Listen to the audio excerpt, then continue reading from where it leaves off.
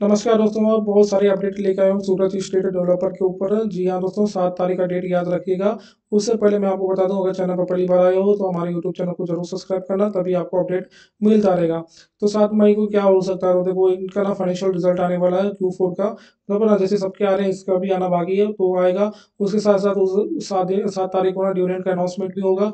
और साथ साथ ना फंड रेसिंग के ऊपर भी बात होने वाली है। तो ये तीनों चीज़ों का लाभ आपको मिल सकता है हमारे यूट्यूब चैनल को सब्सक्राइब करने पर अभी हम आते हैं टेक्निकल्स की बात करते हैं। टेक्निकल्स में क्या है, देखो मार्केट में ना पहले से एक तरह हाई बनाकर मार्केट ट्रेड कर रहा फोर थ्री नाइनटी एट पे ट्रेड कर रहा है, बराबर ना? और हमारा एक जो पहला टारगेट है, वो है चार सौ रुपये का। चार सौ रुपये का एरिया है जहाँ पे एक ब्रेकआउट चाहिए अगर ये ब्रेकआउट ले लेता है तो अच्छा खासा टारगेट हमको ना चार सौ बीस रुपये पहला टारगेट दूसरा टारगेट ना चार सौ चालीस तक का देखने को मिल सकती मिल सकती है। और दूसरा चीज़ बताऊँ, यहाँ से मूवमेंट अगर नीचे से कैलकुलेट करते हो आप तो एक का ब्रेकआउट लिया था इसने तो एक मई एक अप्रैल को लिया था। एक अप्रैल से और अभी तक काउंट करते हो तो इसमें ना शानदार रिटर्न दे चुका है, जो कि कितना है फिफ्टी टू परसेंट का इसने रिटर्न दे दिया है। तो थोड़ा एक ना सेल ऑफ़ भी देखने को मिल सकती है, जो कि प्रॉफिट बुकिंग आप गिन सकते हो।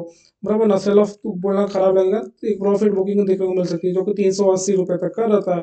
अगर यहाँ अगर थोड़ा सा अगर ब्रेकआउट नहीं ले पाता है तो यहाँ से थोड़ा नीचे आकर फिर दोबारा अपसाइड जाने का प्रयास ज़रूर करेगा, तब चार सौ पहला टारगेट दूसरा टारगेट चार सौ बीस, चार सौ चालीस तक का देखने को मिल सकती है।